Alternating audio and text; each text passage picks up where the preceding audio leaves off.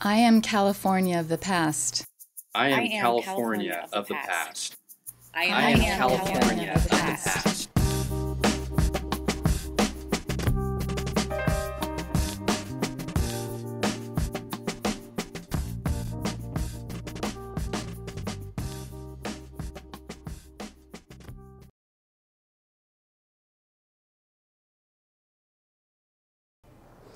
Hi, my name is Bill Jennings, and I'd like to talk to you about my experience with the Black Panther Party. I joined the Black Panther Party um, at 17 years old. I was living in East Oakland, and I was going to Laney College in 1968, June, and I he- heard from the campus they were hollering for Huey to be free. So me and my friends went down to Alameda County Courthouse, and they had a big rally there. Just coincidentally, at that time, I was reading a book called The Autobiography of Malcolm X, and the Panthers were talking more or less the same thing what Malcolm was talking about. So I took one of their brochures and kind of followed them for a few- few weeks, and I ran into a Panther on Laney campus, and he said, "We're going to start an office over on 75th and East 14th. Come on down." So I got off the bus on 75th and East 14th and one of the 80 buses, and walked across the street, and the Panther office had just opened. I signed the application, became a party member, but you just couldn't become a party member like that. You had to go through a six-week training. So there was about 40 books you would have to read, uh, community work you had to be done, and military stuff you would have to learn. And so I went through the six to eight week training and became a Black Panther Party member. And when the Black Panther Party as an organization started feeding kids in 1968, 1969, East Oakland had four free breakfast programs. Uh, so we fed thousands of kids every morning here in East Oakland, as well as we sold the Black Panther Party newspaper, which was an educa- educational tool to educate people about um, their rights and uh, the background and what the Black Panther Party was about. When Huey got out of jail, we started instituting programs like the free food program.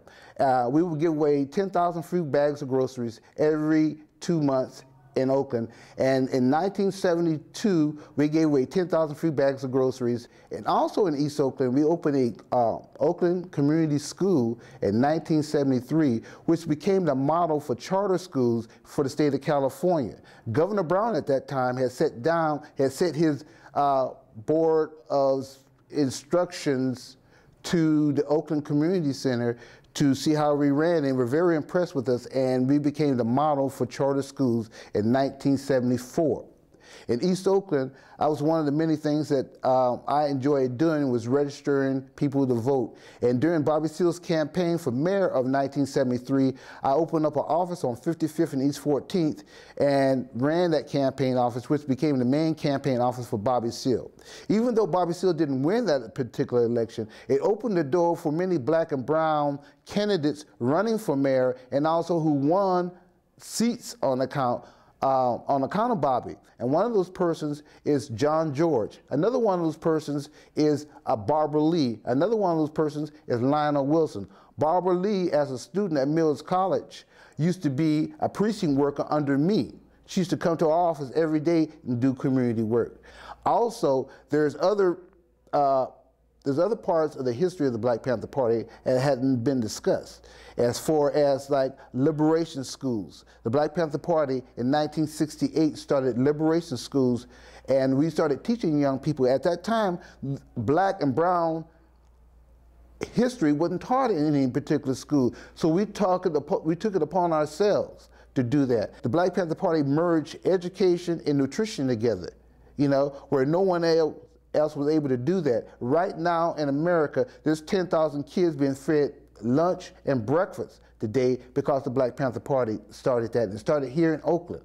And also, the Black Panther Party had 11 free medical clinics.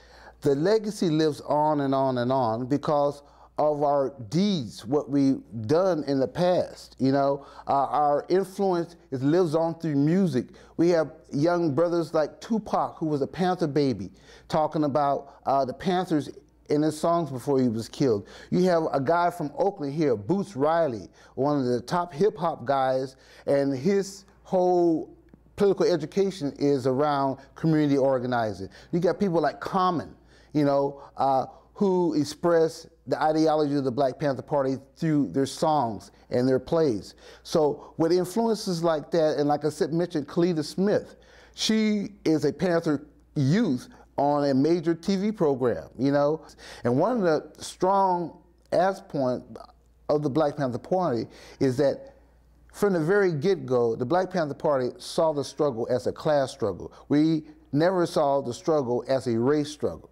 So racism is just a byproduct of capitalism you know, and we're against capitalism because it exploits people and it made us slaves, and it, you know, and it, and it promotes imperialism, where our country go to other countries and take over their countries for money.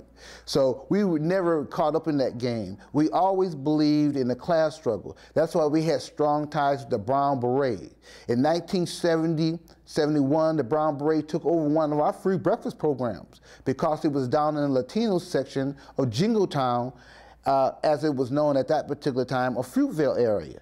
Uh, a lot of migrant workers and people lived in the area used to work there because they had a Del Monte canning factory there. And a lot of people come from miles around and not have any public service or not know anybody, just come to work and they were kind of like out there. So we took it, we started it. Brown Berets said, hey, we, this is our community. We appreciate that. And they took it over and did a great job with it. These, they also stood with us in support of Huey P. Newton uh, and, and political prisoners.